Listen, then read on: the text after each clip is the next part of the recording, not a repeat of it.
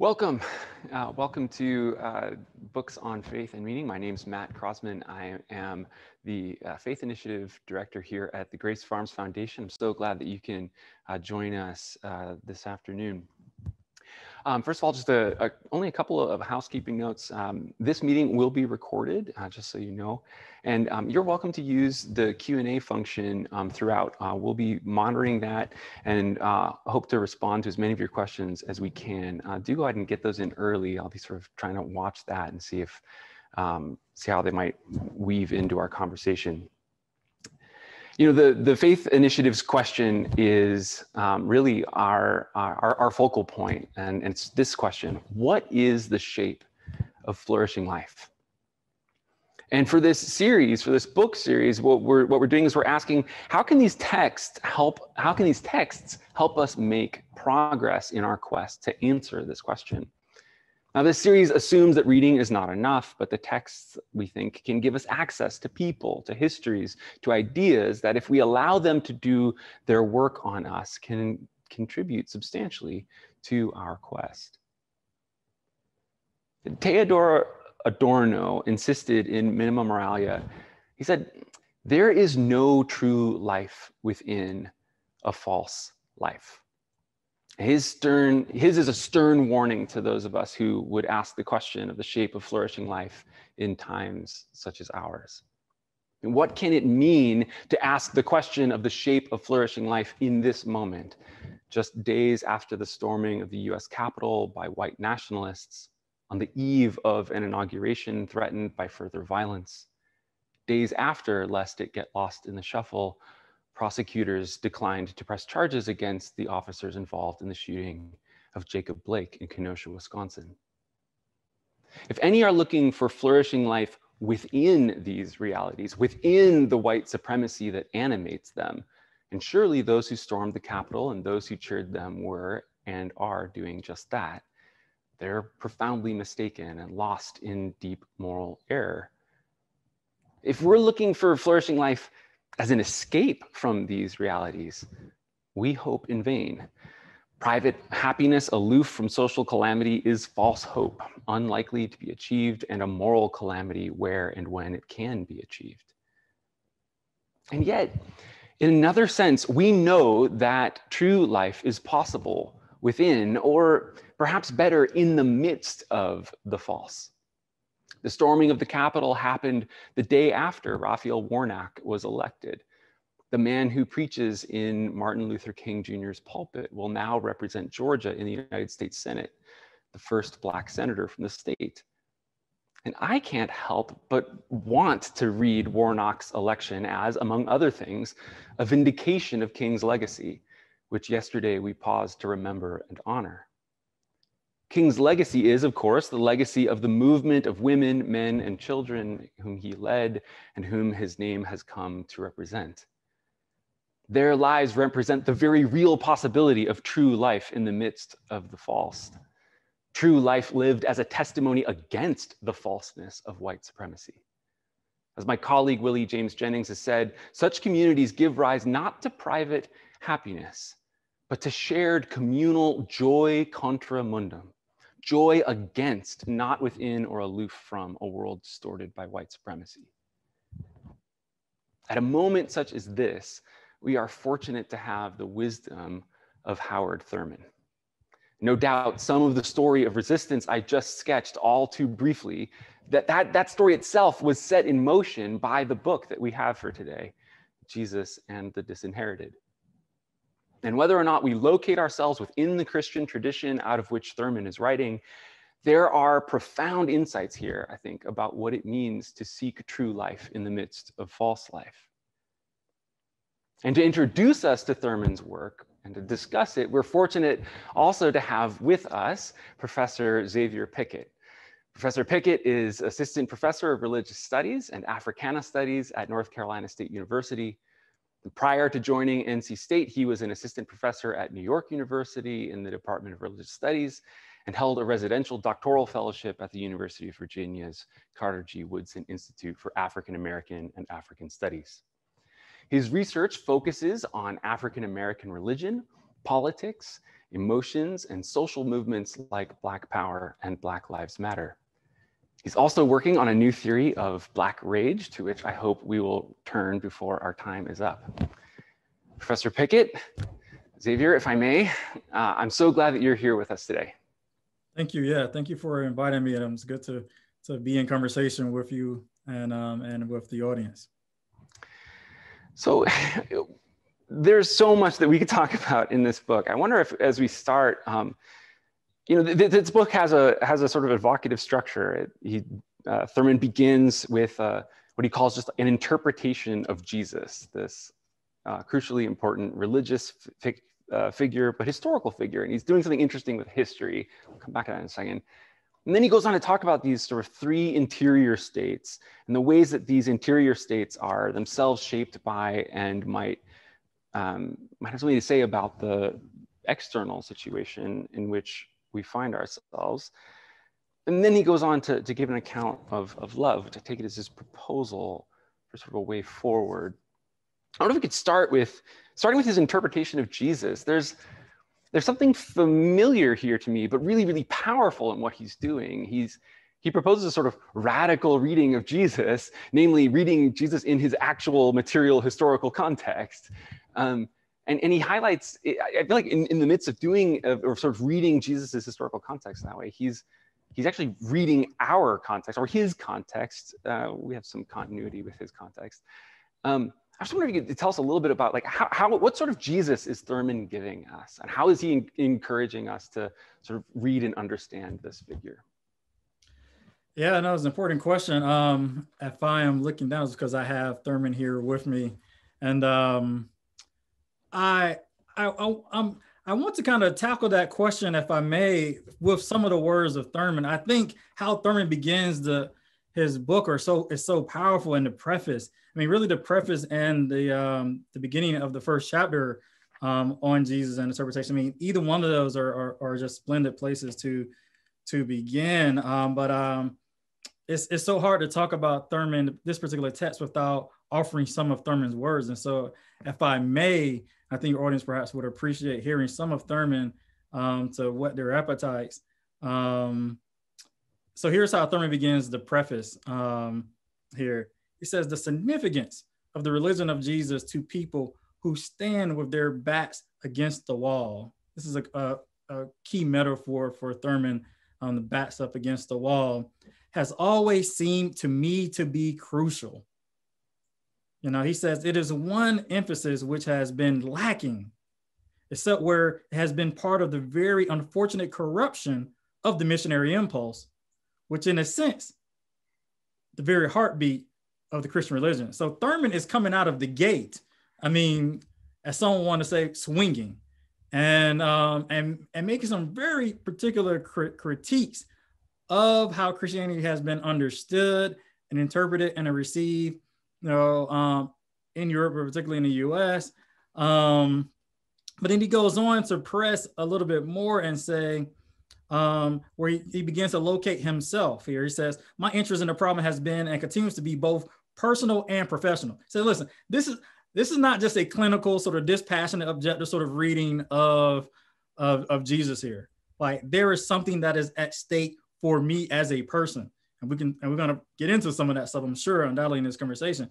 Thurman says, this is the question which individuals and groups who live in our land always under the threat of profound social and psychological displacement face. And this is the question that Thurman raised.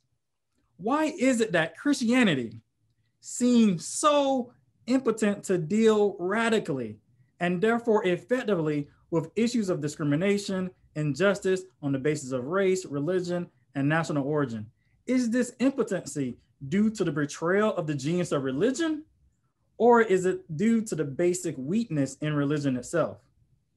right? So Thurman is really raising um, a question that he's not the first to raise it altogether, but he's probably the first to raise it in this kind of way and this particular moment and historically, you know, because um, you know what what is happening here in the early 20th century, you know, not get into too much of the weeds, but uh, you know, a lot of scholarship, German scholarship around Jesus, um, you know, there is, you know, usually a kind of, and this sort of dichotomy has been sort of disabused um, now, but a kind of distinction between the historical Jesus and the Christ of faith, for instance. Um, and so, and at this particular moment in the early 20th century, there was attempts to try to recover, you know, the historicity of Jesus. And and Thurman is interested in that project as well, but he's interested in it, you know, uh, from the standpoint actually of wanting to press it further than many European um, biblical scholars, New Testament scholars particularly, um, beyond where they was pressing. That is to say that there's something about not just historical location of Jesus that's significant, but also about the person of Jesus, his body, you know, um, his makeup, his phenotype, all these sorts of things, his status in that society. And so Thurman articulates really sort of three sort of features of uh, try to try to offer really a reinterpretation of Jesus um, that that is really critical for for for the reader to understand. One one of which is that Jesus that the intervention that Thurman makes that Jesus is a Jew. That's one point that Thurman sort of uh, makes, and this is important. It's an important claim because you know as Christianity has um, has developed quite significantly, you know, as after it's left Africa and has like transformed itself and and and, and in a very powerful way have become embed embedded with empire, right? Become a part of various sort of European empires, uh, particularly in the third, fourth, fifth century and forward. Um, and so we can forget that that Jesus is actually is not a Christian, right? And so that he's actually is a Jew. But Thurman goes on to say that he's also poor. All right. So he's not so he's he's not Jesus wasn't born as, as some upper class or aristocrat and these sorts of things. You know, didn't have a lot of money, all that kind of stuff. And so he was poor, but he was also, as Thurman says, the other third point that Thurman says he's he's actually belonged to what Thurman's language is a minority group, you know, which we would want to describe in our in our language. It's kind of a minoritized group. And so part of what they help us to see is that that Jesus is actually the first century Palestinian Jew, right? And so that that in some ways he's not a Roman citizen. He's he he he he, he doesn't have the empire on his side. So he's actually being crushed by the empire, right? And so um, many Jews at that time were. So Thurman is Thurman, Thurman is trying to say, okay, if that's historical Jesus, that's the context in which he was situated. You know, he actually belonged to this particular sort of like class of people who were minoritized and the economic class being poor. Thurman basically says, hmm, well, we can make some interesting sort of analogies to to that particular you know group of people there in the first century to to to people who are in the U.S., uh, particularly African Americans, but also a lot of people who are the disinherited, the dispossessed um, across across the land and across time, and so that maybe Jesus might have something to say something to them. And so now I'll make this last point. And part of part of this intervention that Thurman is trying to make, he's actually trying to to uh, he's actually trying to to retrieve, but in the process of retrieving, he's also trying to um, to unclench the kind of Jesus that that that that that that that has really masqueraded and, and has purported itself to be sort of um, uh, the historical Jesus away from all kinds of white supremacist interpretations that don't go by that sort of description. And so, just so happened, how is it the case that Jesus still happens to be white for most people, right? And imaginations of most people, right? And Thurman is trying to is trying to sort of push back against that and say, well, actually, no, Jesus actually is not white; he's actually brown, you know. And so, and what then does that mean for how we understand him? And so, what? So what? So so part of the link that he wants to to draw here between sort of the Jews who are dark and black folks who are themselves also um, dark. And so, and what this what this allows Thurman, the last point I wanted to make, and we can sort of talk about this more, is this allows him to be able to draw a really critical distinction between the religion of Christianity and the religion of Jesus. Because religion of Christianity is a religion of the dominant, those who are in power, right? But the religion of Jesus are those who are actually, you know, uh, what's been said, sort of underneath, at least for our moment, modernity, right? And so, um, and Thurman is trying to give an account of of that. Well, how how is it that these group of people who are who are marginalized, who are poor, who are who are who are who are seen as as as outsiders, how is it that these group of people, these particular Jews, and and a, a particular central figure that emerged known as as Jesus of Nazareth, how is it that this particular individual and these and these people around him, um, how is it that they live? How is it that he has lived this life that is being Jesus, right? As opposed to to those who try to lay claim to Jesus, right? Um, and and sort of and and then and infuse Jesus and the sort of teachings around him um, with with sort of domination and empire and, and all kinds of institutions that that try to exclude the very people that Jesus actually not just represent, that actually is.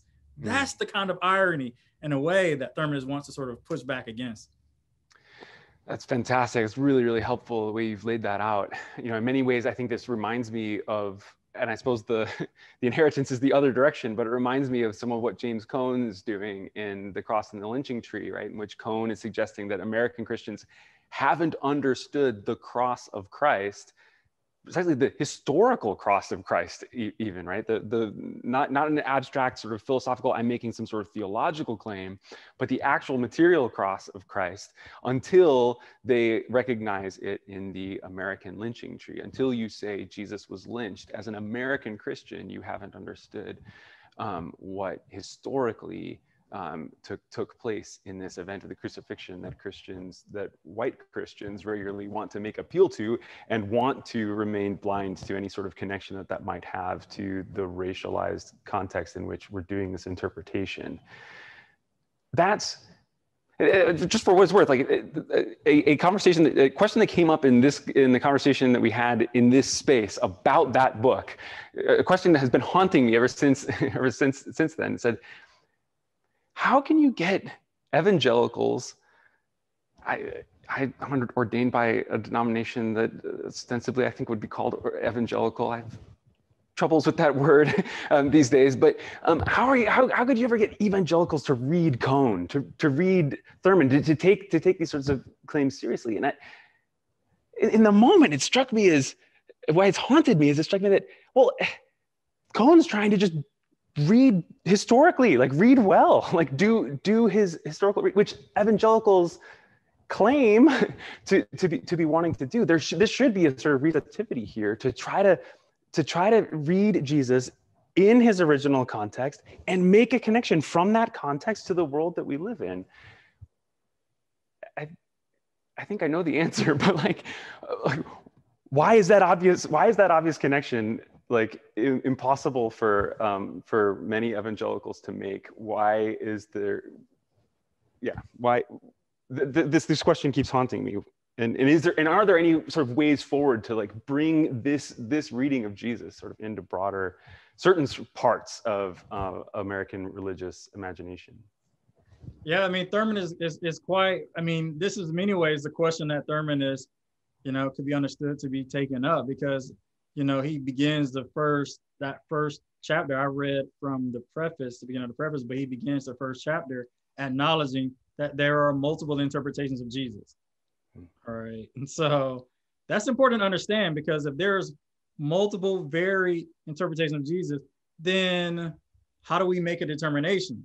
You know, and and Thurman begins, you know, he he says, you know, I'll just, you know, you know, read this, the, the first couple of sentences where he says, um, Many and varied are the interpretations dealing with the teachings and life of Jesus of Nazareth, but few of those interpretations deal with what the teaching and life of Jesus have to say to those who stand at a moment in human history with their backs up against the wall.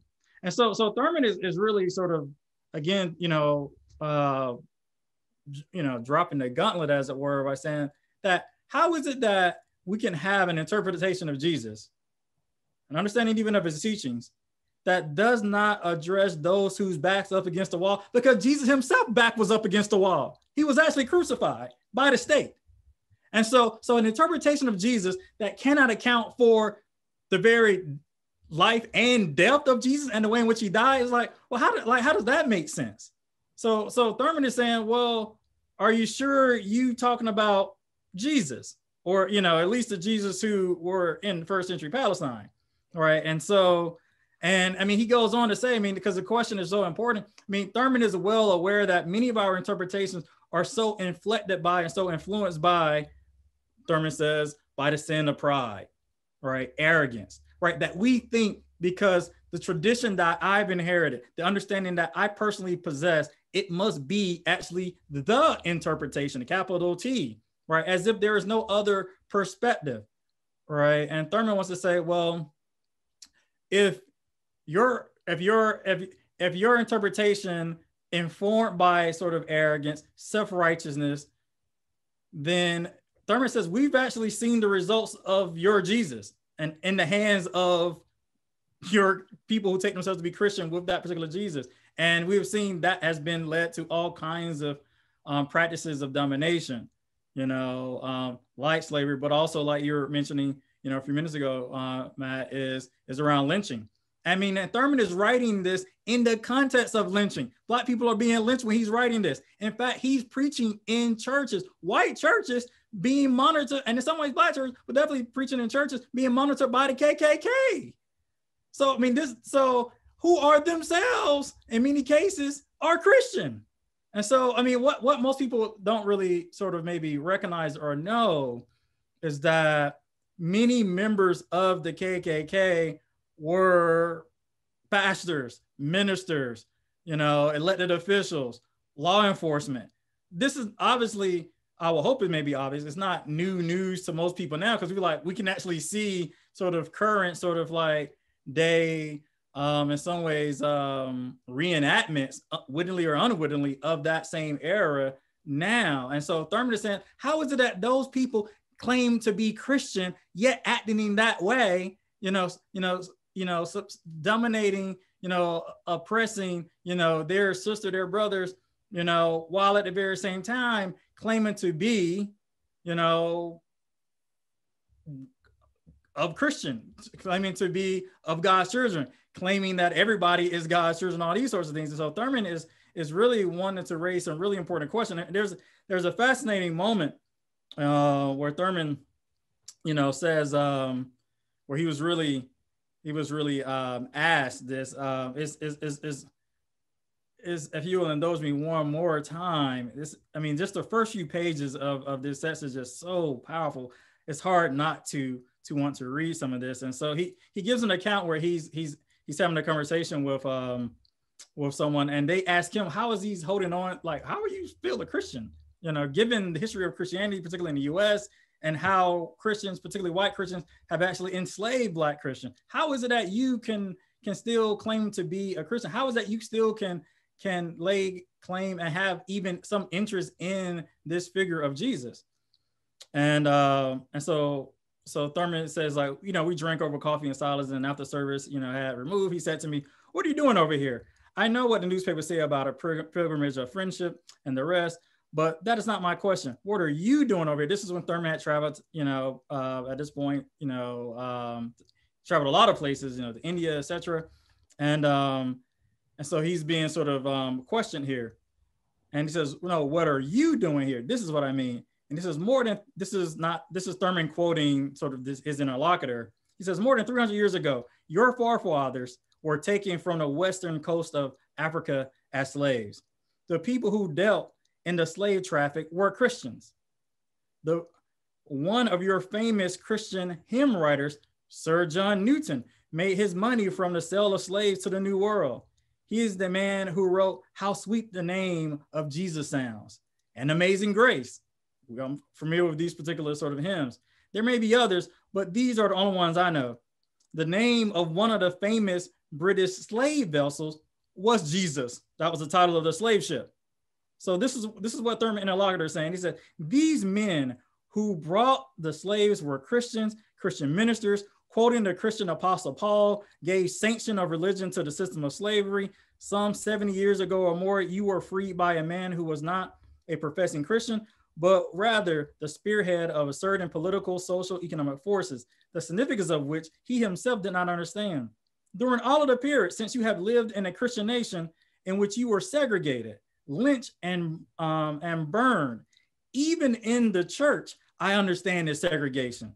One of my students who went to your country sent me a clipping telling about a Christian church in which the regular Sunday service was interrupted so that many could join a mob against one of your fellows. We just saw a mob, right? And Thurman then, then is in the locker ends that says this. He says, when he had been caught and done to death, they came back to resume their worship to their Christian God. The mob that, that that's being referenced here is a lynch mob. So that so these folks were, I mean, many of the people, who, you know, these white supremacists, nationalists, and these are more more self-avowed, more overt kind. White supremacy is, is is is is not just those who put on robes, not those who just march on the Capitol, not those who march in Charlottesville. I was in Charlottesville, by the way, in, in 2017 in Virginia when they came through there, and so um, they walked with their tiki torches past my office. All that to say is what Thurman is what, Thur- what Thurman is learning us to is that that these group of individuals they would go to church and then as a part of their part of their worship really they will go out and lynch people. And so i mean part of part of what we have to really understand and really wrap our minds around is that how is it that many white christians could, could go out and lynch people really as a part of as a, as a part of their religious expression? And so because lynching as we understand it particularly now on, on this side of things w- was really an extension of white christian worship. And so it was a part of their religious rituals you know, so they would go to church on 11 a.m. on Sunday and and after church go go attend a lynch mob and, and go back to their regular business of, of, of Sunday sort of fellowship. And Thurman is really is really trying to wrestle with um, like how is it that that these people um, interpretation of Jesus is a legitimate interpretation. And so and that just you know leads him to sort of to offer a, a, a reinterpretation of, of Jesus that is as much more sort of like holistic and accounts for the person that is that is being interpreted Jesus in a much more sort of fuller and complex light. And yet, in the face of all this, I mean, this is and this is exactly what the interlocutor is, is pressing him on. Thurman finds resources for resistance in the person of Jesus, and in, I mean, among other places, but but in the Sermon on the Mount um, in in a lot of in Jesus's teachings of love of enemy, of um, of nonviolence. Um, and, and how, how help help help us help us understand. Um, I'll tell you, I, I think I mentioned this to you when we were talking um, a week or two ago. When I taught this text at Yale Divinity School, um, a lot of students found that really, really troubling. They, they, they, they were worried that, that Thurman was not, not, not nearly radical enough um, in sort of turning to some of these really dangerous texts. And we know, I, I, I assume, we know how, how, how these texts can be abused to, uh, you know, love your enemy, meaning if I make myself your enemy by abusing you, you have to take it, right? Um, and yet Thurman's turning to these texts, um, and I take it producing, getting something out of it that isn't passive acquiescence isn't some sort of um, perverse celebration of martyrdom. Um, what sort of ethic is, is, he, is he proposing, is he finding in that, um, in the Sermon on the Mount, in some of these teachings? Yeah, I mean, it's, it's, an, it's a really important question. It's, it's, it's, a, it's, a, it's a thorny one um, for a, a, whole host of reasons. Um, I mean, one, I mean, one, one, one question that it raised um, and I mean, and and Thurman is really maybe could be understood as kind of engaged in a kind of experiment, as it were. Like, can Christianity really be salvaged? You know, um, and Thurman, you know, is is is in, is in some ways optimistic, and of course, but he's optimistic not be, not Christianity as the way in which has become sort of a religion of domination, but sort of the ethic that that is reflected in Jesus, like that has become identified, mis actually has has has sort of been obscured by the religion of, of, of Christianity. And so I think, yeah, I mean, a number of ways we can go with this, I think, you know, is to say that um, that Thurman does not believe, or to say it maybe more positively, that Thurman Thurman really believes that that what Jesus has to offer is not all of what white people say uh, about Jesus, right? So like, and and in some ways he has like you know firsthand and secondhand experiences of this. I mean, because Thurman, you know, was born not that far from slavery. I mean, Thurman's grandmother was a slave, you know, who herself was a Christian. And but she was a Christian of a different type because most people think about, you know, enslaved, you know, um, African Americans as being sort of docile, just kind of just passive, you know. And Thurman is saying, particularly from his grandmother, he she, she taught him that's like, no, actually, you know, the Christianity that we understand and Jesus that we sort of um, believed in is not the same Jesus of of uh, of the slave master. In fact, it's what Frederick Douglass have said, you know, in a number of places that there's a difference between the Christianity of the land and a Christianity of Christ, which is to say there's a difference between this is Douglass as well, a Christianity that's on top of the, on the on a deck of the slave ship. There's a Christianity below deck. Mm. So Thurman is trying to give an account is that how are these people understanding Jesus? Because like if you only think about Jesus from the standpoint of those who are in power, those who are on top, those who are dominating, then you're gonna miss a lot of stuff. And so so Thurman saying that, that if you understand it from this perspective, from from below, then actually, you know, there might actually be some resources here that that were that have not been brought into view.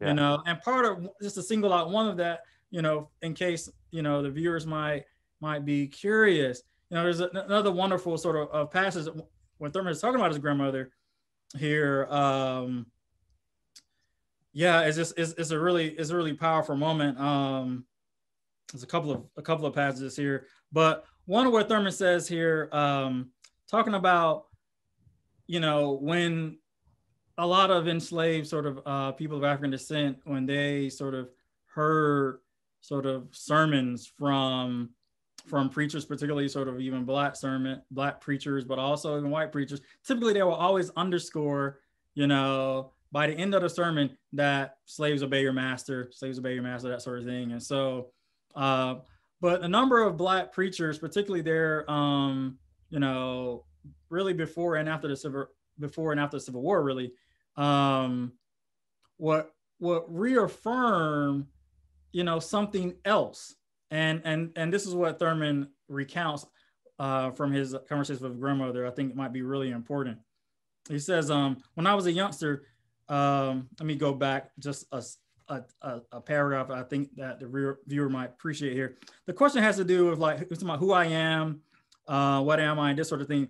This question has to do with the basic self um, estimate a profound sense of belonging, of counting. If a man, this is in the fear chapter, by the way, I'm reading from.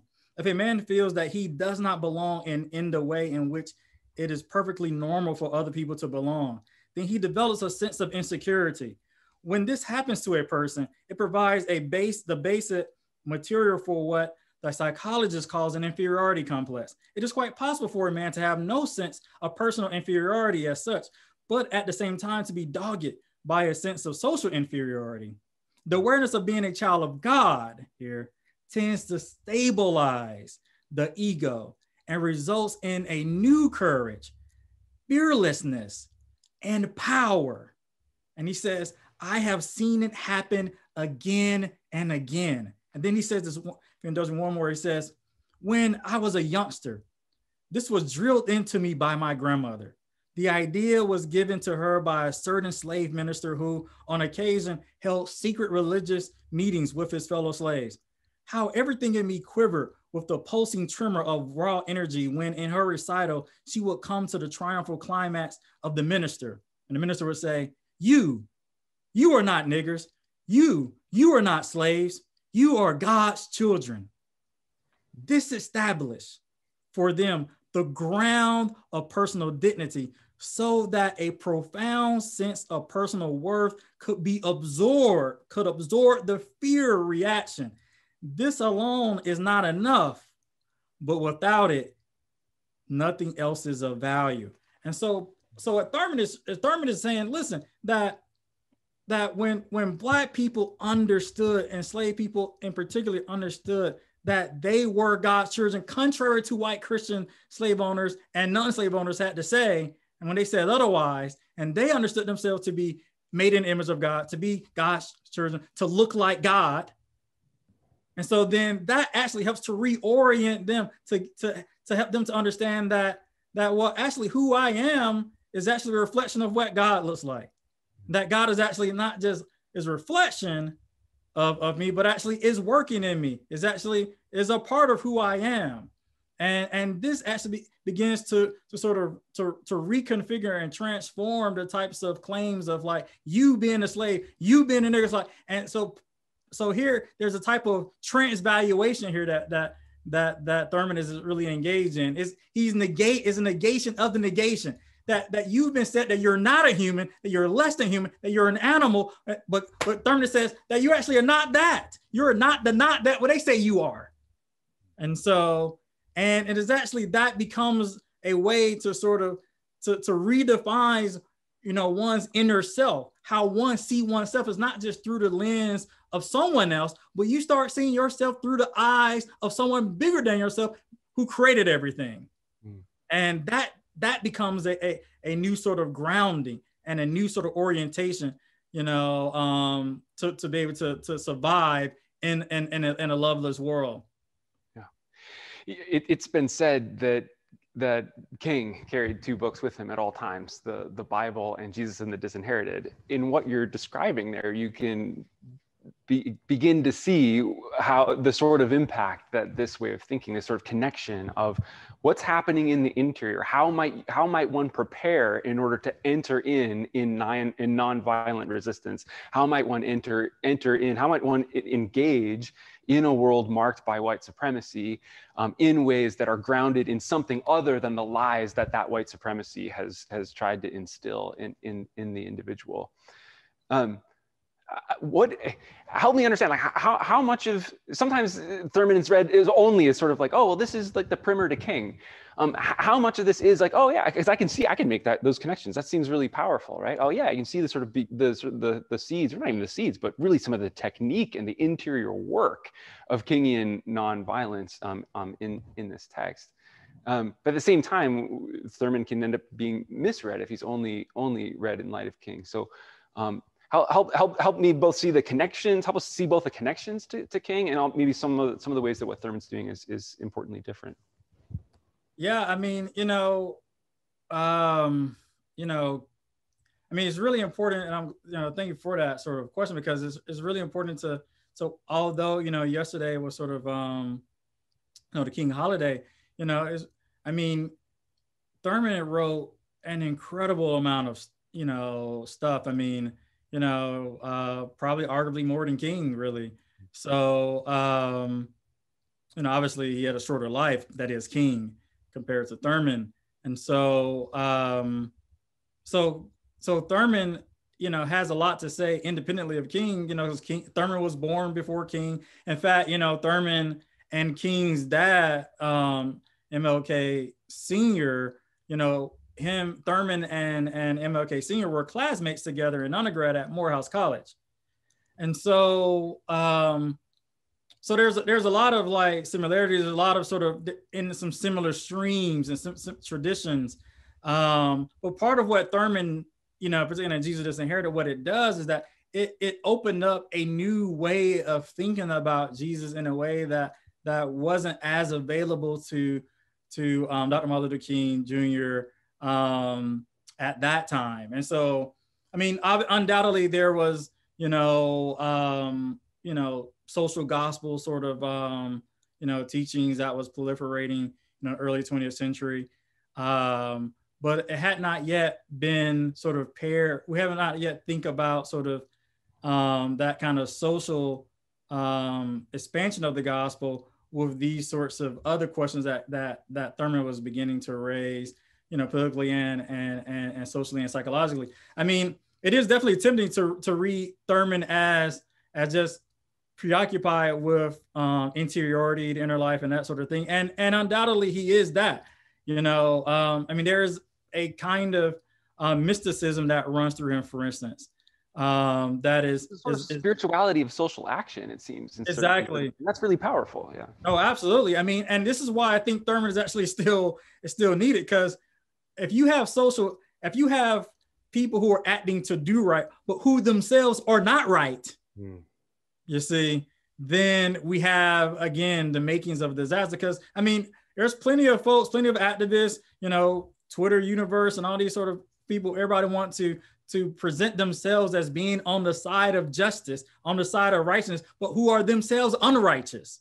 So the question of like character, your interiority, your your moral life is is is is not something that can be easily brushed aside you know? And so social action apart from some measure of personal piety right you know um and having some measure of kind of like moral character like once you start separating you know like political action political criticism social criticism from like from the self and the, the very people who actually are doing the the criticism of political work themselves then you actually have created a you actually are re- reproducing in many ways some of the very problems you know that that that, that were found in Europe.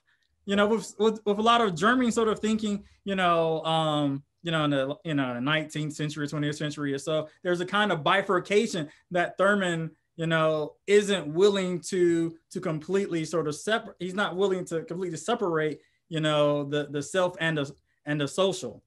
So he wants to really think them both. And so, and he's trying to think them both on a lot of a lot of different axes that that could be seemingly, you know, um, uh, much more sort of like kumbaya type of thing. But Thurman actually is open to the possibility of, of violence. And mm-hmm. so, like, this is a lot of things that people don't know about Thurman. Thurman is not, you know, he's not an absolutist about this stuff whatsoever. You know, I mean, there are some interesting sort of like accounts where Thurman himself had to stand on guard at a house when he was traveling, you know, um, you know, because he was there was word about, you know, uh, the Klan and other sort of um, a white mob come and and and burn the house down or come and shoot out the house. And so there was patrols, you know, when Thurman was was in the area when he was traveling or where he was living that that in many cases that he, there was a gun around or people that was around him might have been armed. Same thing with King. You know, uh, I mean, I mean, King was not, you know, uh, I'll put it this way, King was protected by people who were who were armed. So um, so so so the, so the question about like armed self-defense, you know, there's always a tendency to, to want to draw a wedge between, you know, love and, and armed self-defense you know, and what Thurman is trying to understand, really, I mean, Thurman's really subversive. I mean, I mean, people, I think the challenge around this Jesus and this Disinherited is that people aren't reading Thurman slowly enough. Thurman is a, if you ever hear Thurman, he's very slow and deliberate. It just he takes his time. He silence is is, is one of one of the things that that that is um that sort of mark his his his delivery. And so and so reading him, you have to kind of take your time and stop because there's a lot of subversiveness that's happening, you know, throughout Jesus and Disinherited. You know, like even deception, you know, we might think of deception as one of the chapters of Thurman. You might think of deception as being wrong. And Thurman is saying, well, actually, deception is actually neither positive nor nor nor nor negative in a way. It's, it's kind of how do you Thurman is, is interested in in in this understanding deception as a way to respond to a terrible situation. How does one survive in a, in a context that is death dealing, death dodging, you know, particularly for others who, who are white? Like, how does one survive in that context? Well, you, part of what Thurman is suggesting, that deception actually functions as a kind of counter ideology. You know, like it's, it is a tactic of resistance. So, I mean, Thurman is not just, you know, uh, saying, hey, just love everybody, hold hands and go out for, you know, a smoothie, a cup of coffee type of thing. You know, no, Thurman is concerned about protecting not just one's body, not just one sort of externalities, but actually protecting one's inner self against the violence of, of, of white supremacy that tries to that tries to make itself try to um to try to penetrate in one's interiority in a way to try to redefine oneself against you know what God has already said you are you know and so so to be able to maintain a type of sense of self in a world that says you are not a self, that you are nobody, and and how did one go about doing that? Thurman is is is probably for our lights, depending on what our political sensibilities are, he's more interested in in kind of preserving or at least sort of articulating the significance of um, of, of, of, of, of developing and maintaining and cultivating that sort of inner life that that that is not that has not already been overdetermined by by things and individuals that are without that are on outside of you. And eh, to, to just to to draw out that point one step further he or, or to, he's speaking not just to folks with their backs against the wall. He thinks if you start there then you can start to understand the message but what the message then has to say is it actually does also speak to those who are in positions of, of power, especially those, I, take it, who might want to um, live in some ways as allies, to, to also attend to what white supremacy is doing to their um, interior life. So, in that same chapter on fear, the fear that segregation, I, we could say white supremacy, but the, the fear that segregation inspires among the weak in turn breeds fear among the strong and the dominant. This fear insulates the conscience against a sense of wrongdoing in carrying out a policy of segregation. It, it sorry, this fear insulates the conscience against a sense of wrongdoing in carrying out a policy of any white supremacist policy. For it counsels that if there were no white supremacy, if there were no segregation, there would be no protection against invasion of the home, the church, the school, etc so, so just one of again to whet the appetite um, for, for, folks in the audience. There are the, there are multiple moments where where Thurman is is trying to demonstrate. Look, white supremacy is poison for the soul of of, of white supremacists as well. Just just make sure we, we we we get that. You have your if you are and, and you are necessarily entangled in white supremacy. We're in a sort of racialized world where, where this where these are the realities. Here's this thing that you should attend to in, in, in your in yourself. And what I, what I find what I find powerful there, and um, we, we do have a question from Q and A. So I want to see if I can like, um, get get here to it. But um, maybe first you give me a, a, a response here. Um, that attending to the interior life just seems so necessary to me for, for any of the sort of work of, of anti-racism, any, any of the sort of work of, um, of, of, of liberation, of transformation, of soul, of, but, it, but it's also this, this subtle place where we can actually get a, a, a sense of, can see what these systems are sort of doing to us. As a, as a white person reading this book, right, I, I find, oh, he's, he's, he's helping sort of describe what this thing is doing um, in in me. Um, and that and that's really really helpful diagnostically and it's and it's and it's helpful um, uh, uh, to sort of begin to, to, to point a way forward. Um, it, yeah, no. yeah yeah you, you're drawing obviously a lot of your work is, is working in affect now. I just i know you yeah. Tell, tell us a bit about that. What's sort of drawing you in that direction why you think affect and, pay, and paying attention to these things is so significant for this work? Yeah i mean because you know um in some ways because you know we need to be able to distinguish um affects that are that um, we might tend to think you know manifest itself um, in the same way no matter who is the the the bearer for instance. In other words is the rage of white people the same as black people? Right? We might be tempted i mean for for most of our accounting of, of, of race, for instance, you know, we just think it's the same. You know, you know just, you know, no matter who who bears it. So uh, maybe the actions might be a little bit different, you know, um, but it, but for some, it's something that to, to be to be sort of gotten rid of, to not be allowed in in public. But there are certain there are certain race that actually is permissible in public, that is actually acceptable, that is actually mainstream. And this is what we saw, right? So we see sort of like the fear, you know, and in many ways, there's actually a, a misplaced fear. Is that, you know, that many sort of like, you know, white Americans sort of like have about their place in the world. It is what, you know, some scholars describe, you know, um, is a kind of politics of, of diminished overrepresentation.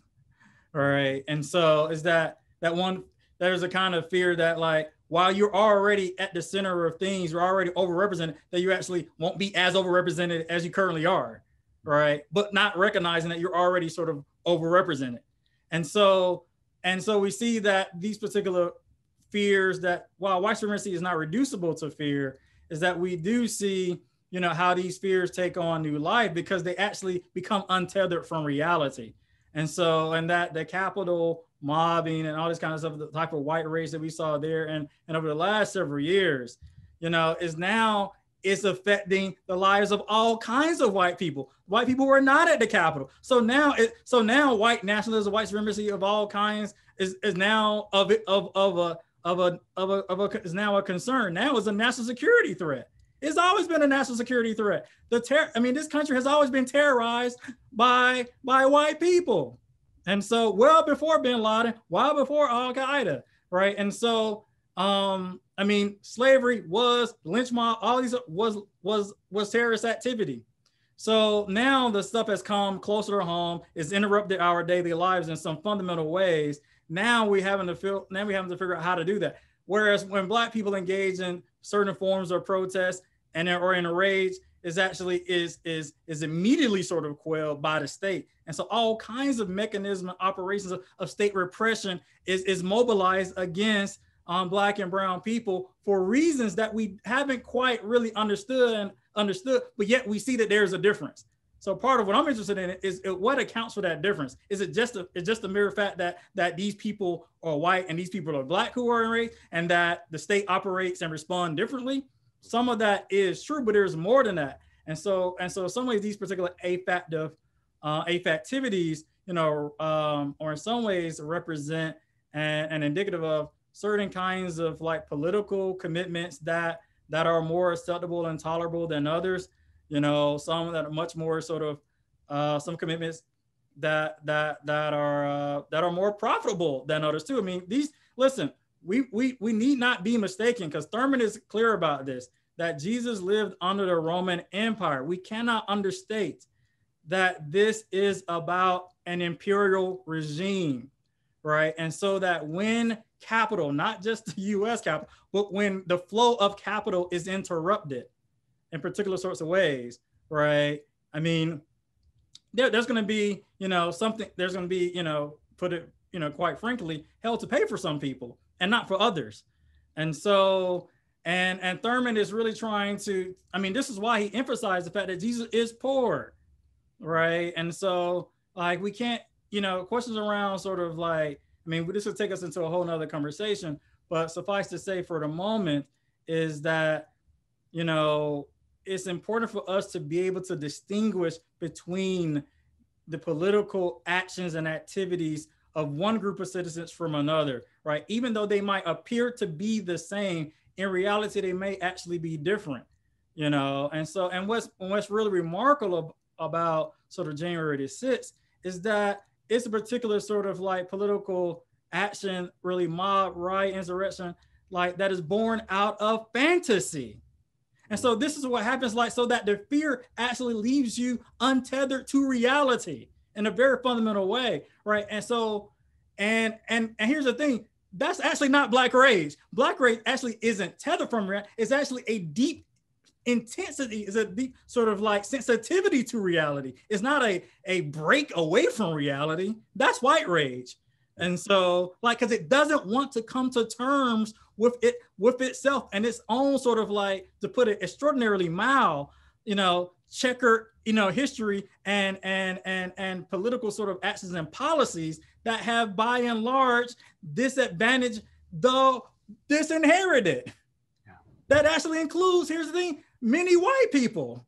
So that they actually don't actually benefit from the very white supremacist activities and ideologies that they're complicit in that they actually become a victim to it themselves in ways that they don't even realize you know, and so that's the kind of incredible sort of like paradox, and, and in many ways is a tragedy, you know, that that Thurman is alerting to. That's why we have to to really be involved in the process of of self-reflection, being self-critical, right? Because that's the interiority stuff. When you're self-critical, right? If you can't get any purchase on yourself, then how in the world can you get any purchase on the things that are outside of oneself? Like, you know, political positions, elected officials, what they believe, you know, policy analysis, all this kind of stuff. And so, so this is why, you know, the kind of the ways in which white supremacy is manifesting itself, you know, to, to the degree to which it, it has, seems to be almost immune from like any kind of self-critique. Like there was a moment in time where you could actually reason with white supremacists, right? And so um like that wasn't that long ago in our history. You know, now we're at a moment where it seems like we are literally living into, and we've all heard these kinds of sort of analysis, and we've all probably experienced in our own way, you know, living in completely different universes and is being, uh, you know, um, in some ways um, intensified by all kinds of forms of social media that keeps us apart through all these algorithms. Anyway, I can go on about some of some of the sort of wider sort of like mechanisms that keeps us more and more isolated and more and more entrenched in our own sort of tribe and camps that actually prevents us from being able to see ourselves in the way in which we need to see ourselves to be able to renovate to do the types of transfer the self-transformative work that that needs to take place in order for us to do the type of social trans transformations that that we might be interested in well, I, am sensitive to our to our time and your time in particular, but um, I, we've gotten a couple of questions that I, I think I can weave together here as a sort of final question. Um, one is sort of raising the question of,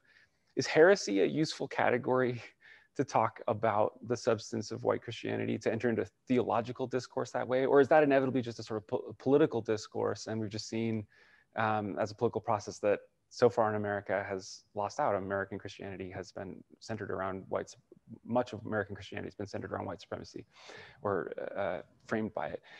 The, the, the, the sort of landing question I think is very related to that is, should we have hope for Thurman's project?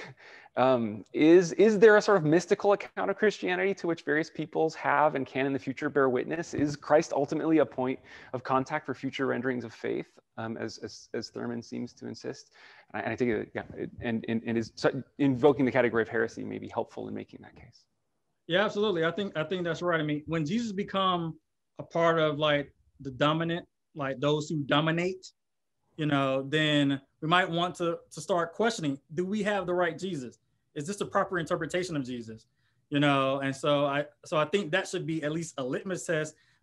That I mean, first, I mean, the heresy question is an interesting question because it's an interesting category because partly what it does, and I know we're right at the limits of the time here, is that heresy almost implicitly the term tends to imply orthodoxy, right? And so, and you know, I think heresy is useful insofar as it makes clear that a view, it makes clear that a view is um, maybe really sort of abominable or or or or, or really sort of heterodox or just a moral error or something. Yeah. Yeah, but I wouldn't want. I don't. Thurman would not. Well, I don't want to. I mean, Thurman is complicated here, so I don't want to speak too much for Thurman on this point uh, without thinking through a little bit more. But I would just say that that it it could be useful as a maybe in in an internal conversation amongst Christians themselves who might share similar commitments. You know, but Thurman was open to all kinds of religions.